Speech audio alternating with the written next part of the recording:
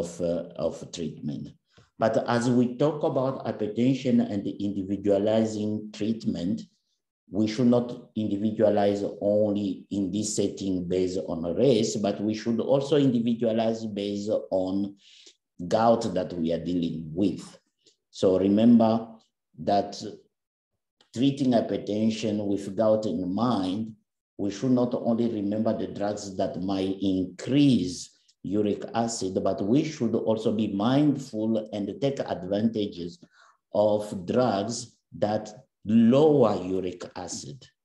And among these drugs, again, there is ARBs and there is calcium channel blocker. So you see that whenever you wanna combine, for example, and individualize treatment for this particular patient, you will see that the combination of amlodipine with enalapril as a black person will make sense. But you, when you go further, you will rather substitute losartan for enalapril to take advantage of losartan uric acid lowering effect or uricosuric effect.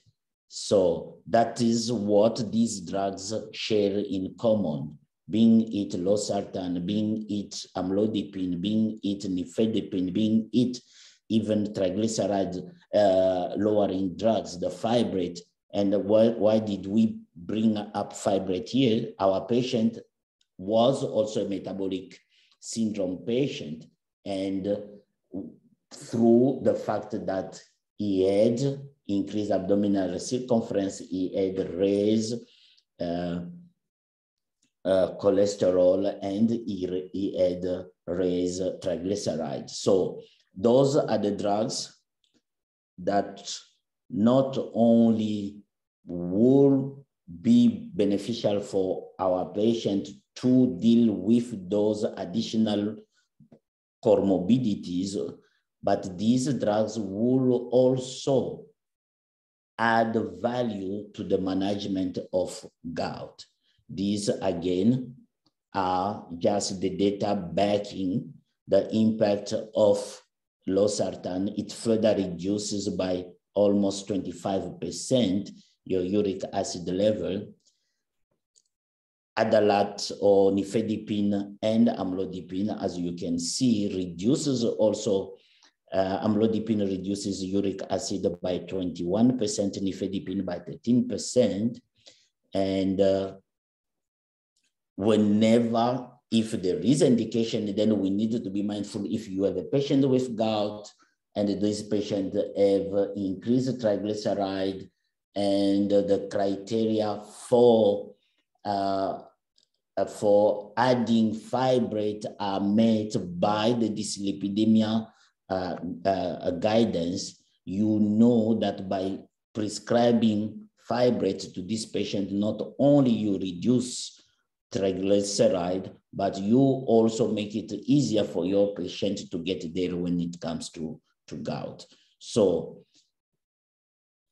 gout, yes. Hypertension, yes, in our patient. Black patient, yes, it means hydrochlorothiazide in South African context is thrown away.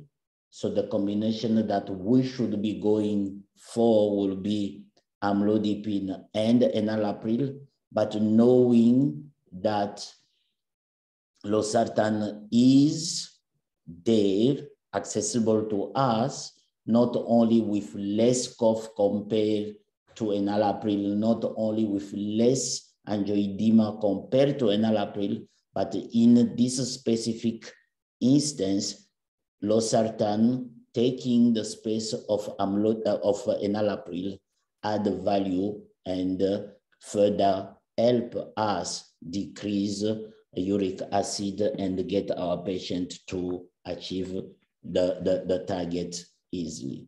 So now,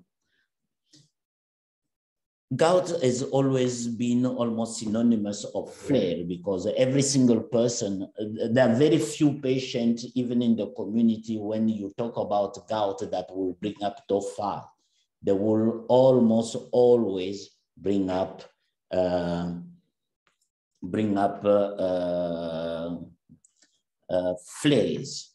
So this needs all of us to be mindful of which modalities are available there for us to take care of flares. So these are some of the drugs, first line drugs, that we should be choosing for our patient that experience flares. But how do we combine them also matters because there was a time in this patient folder that both prednisone, brufen, and colchicine were prescribed for this particular patient. And uh, even when brufen was prescribed, we didn't use the optimal. We basically treated the flare with the dose or the dosage that we use for patients that are on chronic therapy, particularly the patient that have OA. So colchicine, when we wanna prescribe for flare, we need to remember colchicine. The first day, we start with two tablets of 0.5 milligram as a first dose. Then uh, if one hour later the patient is still having pain, they can take the third tablet. And uh, later on, you will be prescribing 0.5 milligram, meaning one tablet of 0.5 milligram, eight hourly until the flare resolve, which usually takes five to seven days. And the one thing that we need to remember is that gout flares can terminate themselves. They can go away even in the absence of treatment. They hardly will go, the, you will hardly see a patient that will be in flare even without treatment beyond two weeks. So, but now, whenever you have a patient with reduced renal function or reduce or, or impair uh, hepatic function, the, the dose of colchicine might be reduced or should be reduced. And there are some critical drug-drug interaction that we need to remember. It's not only about ARVs when we talk about and ritonavir, ritonavir particularly here, when you have a patient on ritonavir boosted PI and you want to prescribe colchicine, you should be mindful of the fact that uh, uh, the doses should be adjusted uh, to avoid uh, complication or toxicity to colchicine. If you use prednisone, so we need to remember that we use 30 to 40 milligram of prednisone that can be prescribed once a day or that can be given in a divided dose. You can also choose to calculate the daily dose using the 0.5 milligram per kg per day. And this treatment will be given at, until it, uh, the, the, the, the, the flare resolve, which takes us just under uh, two weeks. The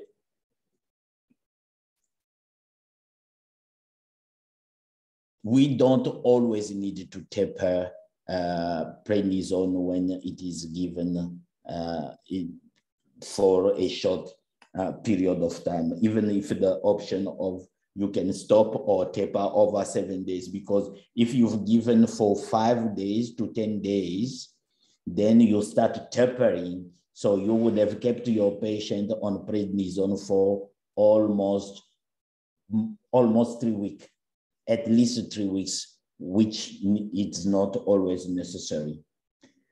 Uh, and uh, whenever we prescribe prednisone, we need to remember that patients that are not controlled and indicate to our patients that are not controlled who get recurrent uh, flare that although they are not on what we might consider to be chronic uh, oral corticosteroid therapy for us to worry about side effect, patients that take repeated short courses of glucocorticosteroid can also uh, end up experiencing uh, the complication uh, like the one that patient on chronic therapy go through. NSAID-wise, you can use any of these, but remind the dose Brufen, it is 800 milligram, eight hourly, not the 200, not the 400 that we are used uh, to, to prescribe to our patient that have OA. And if you prescribe or have access to diclofenac, it will be 50 milligram, 12 hourly.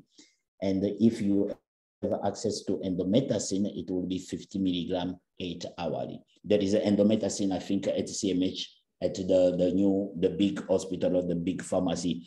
And usually people from, from uh, ortho prescribe and have access to it. So it will depend. Any of these, if prescribed properly, will work.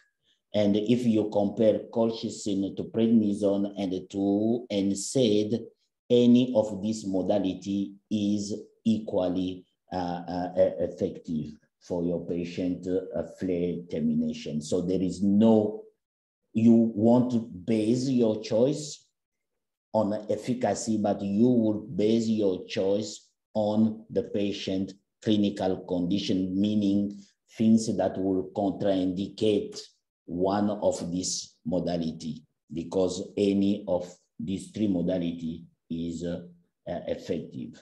So things that might impact or influence your choice is that NSAID can easily be given to younger patients who don't have renal issue, who don't have cardiovascular issue, and who don't have active uh, gastrointestinal disease. So when we say younger patient here, it's younger than 60 years. So I'm young. So if I come with gout, you, you might give me uh, uh, ibuprofen. I'm as young as most of you guys there. So gout wise when it comes to, to, to flare. So the other issue is about combination. How do you combine? There will be instances where combination therapy is needed. And those instances as when you have severe polyarticular flares. This patient will need a combination therapy. Or if the patient reported the history that they once used monotherapy and the response was suboptimal, those patients should, at their subsequent uh, flare, be offered combination therapy rather than monotherapy. So how do you combine? These are the indication. How do you combine? It's basically, first, you don't combine different NSAID. You cannot do Brufen, diclofenac, or Brufen, indomethacin, or indomethacin, uh, diclofenac. So you don't combine NSAID.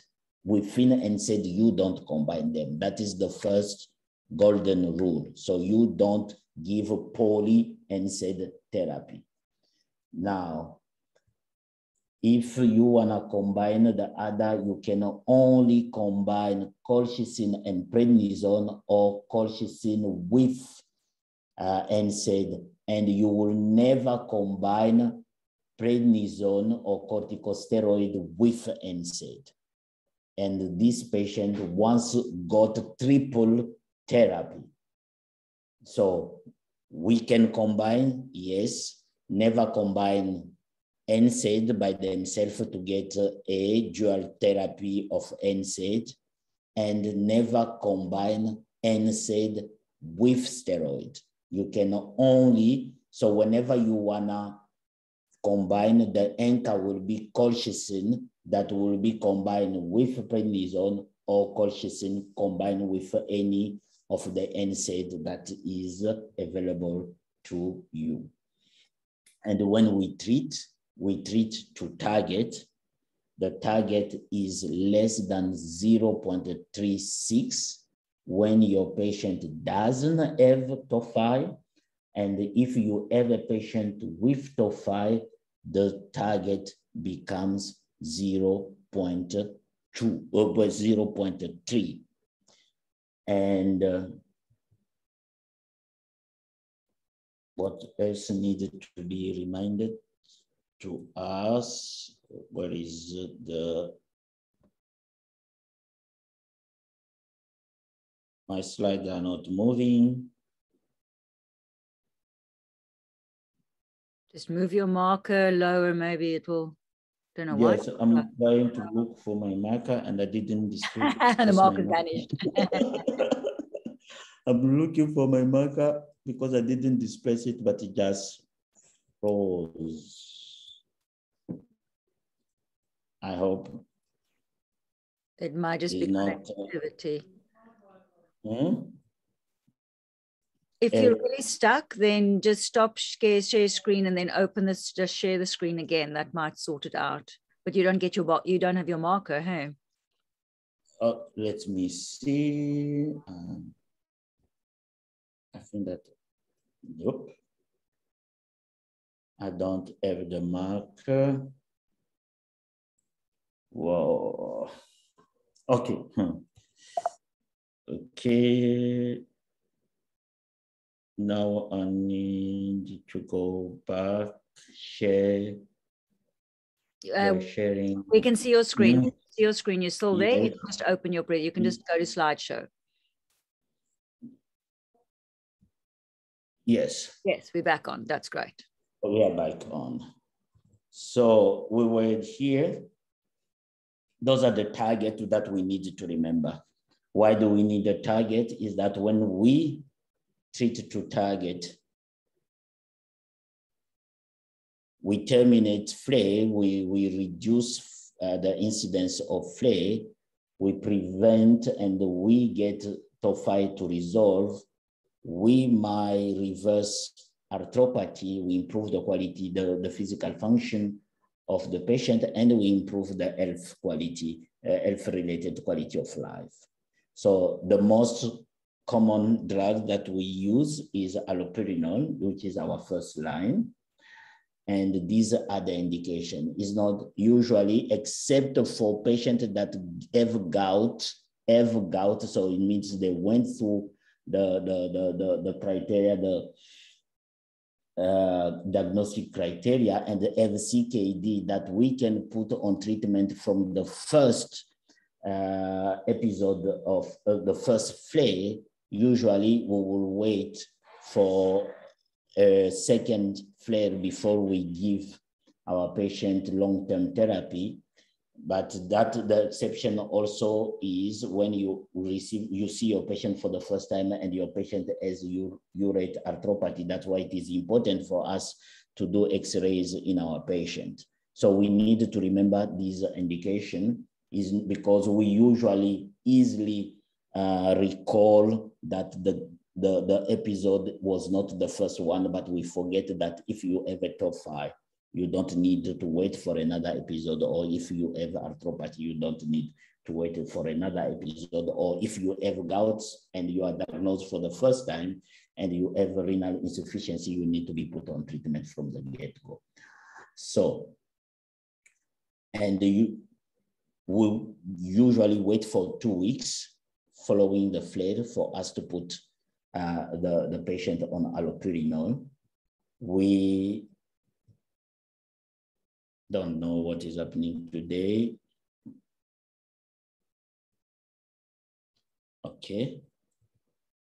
So the principle is that you start low and you go slow. So you will be starting your patient with 100 milligram of uh, allopurinol, and uh, you will increase at week four, week eight. So every four weeks, you can increase. But in patient with normal kidney function, you can even increase every uh, uh, second week.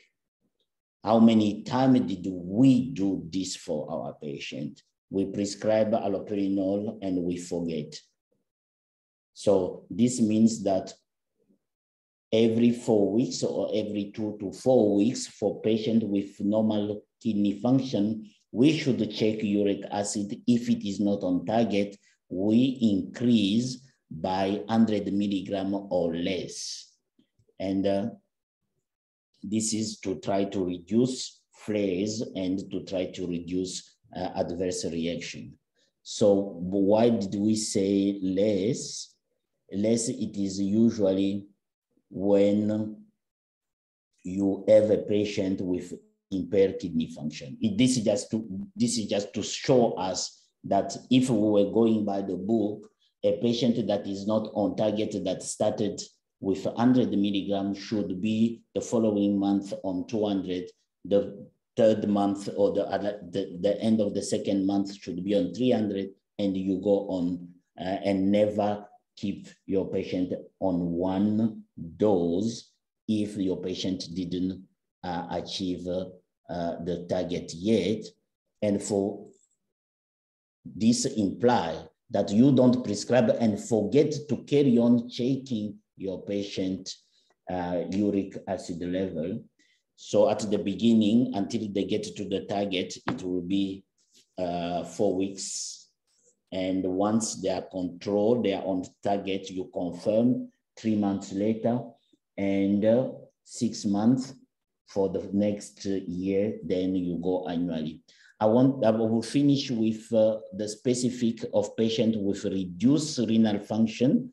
Uh, so meaning every stage three or more, when you wanna prescribe them allopurinol, you need to adjust your starting dose and you need to adjust your increment dose. So you prescribe only 1.5 milligram per unit of EGFR, meaning if your patient has an EGFR of 30, the starting dose will be 45. You cannot start with 100 in that patient.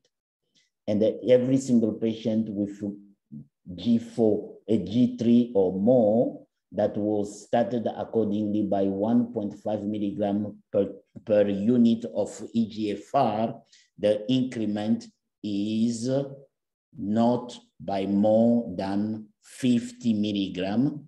And if normal EGFR patient can get increment under four weeks, even by two weeks, every single patient with impaired kidney function should wait at least four weeks before the dose is uh, increased. Thank you very much. Sure. Thank you very much, Dr. K. I've been taking furious notes. It'll be great to able probably create a handout for this as well, um, because this is such vital information in terms of how we're managing our, our gout patients, which I think is quite often uh, quite loosely, um, and how people actually manage it. And having a nice treat to target um, overview here has been very, very useful. Thank you very much. Are there any questions or comments from our participants?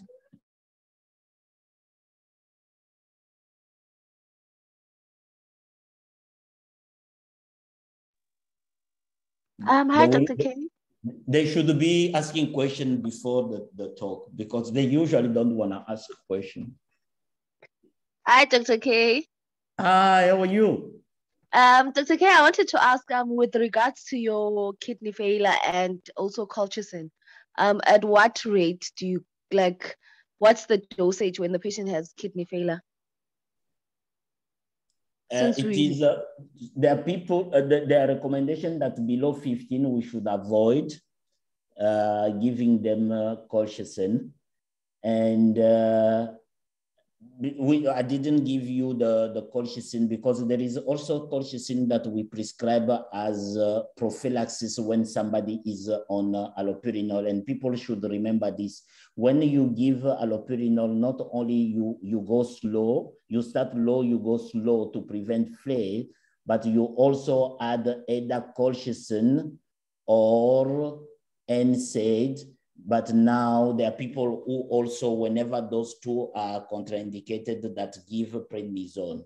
So if it is colchicine for prevention, uh, in normal EGFR that is above 30, you can give one tablet to two tablets. But once it falls below 30, the maximum that you will give, it will be one tablet. And oh. below 15, you will avoid to put the patient on, on colchicine. Okay, thank you so much, Dr. K. Okay. Thank you very much. So generally, we don't like using prednisone as a bridging for our first choice. We'll only do that, for example, in severe renal failure where we can't use NSAIDs and colchicine. Is that right? Yes. So the, the for prophylaxis, the first choice should be NSAID or colchicine but you know that there will be patients that will come back and say they cannot tolerate diarrhea.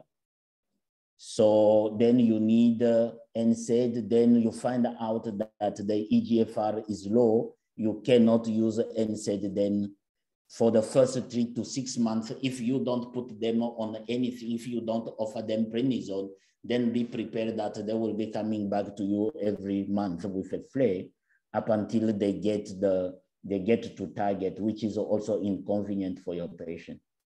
So you go, you will keep them on the colchicine or the NSAID until they're on target. You no, you usually uh, we keep them. The recommendation is that the patient should be kept for at least three months, not more than six months. And we've seen patients that have been left on colchicine combined with allopurinol for years and years. So that colchicine that is given for prophylaxis or NSAID given for prophylaxis should be offered for about three months, but not more than six months. And I assume we won't use that very high dosages of the ibuprofen? No, no, no, no. That is a low dose of ibuprofen. That the, the NSAID for prophylaxis is the standard dose that we use for, for OA.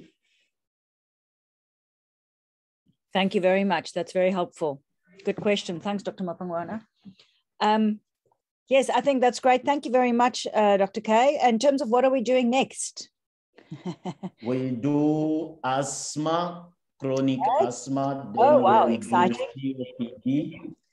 Then uh, the third session will be exacerbation of both COPD and asthma. So the next session will be, the next uh, three session will be respiratory. Great. I'll have a look at dates with you because I'm going away the end of the month. We might not have three Wednesdays left, but I'll, I'll chat to you at work and we'll set the dates. We'll see, we'll, we'll coordinate. Great. Wonderful. Thank you very much. Have a lovely evening, everybody. Likewise. Bye. Right.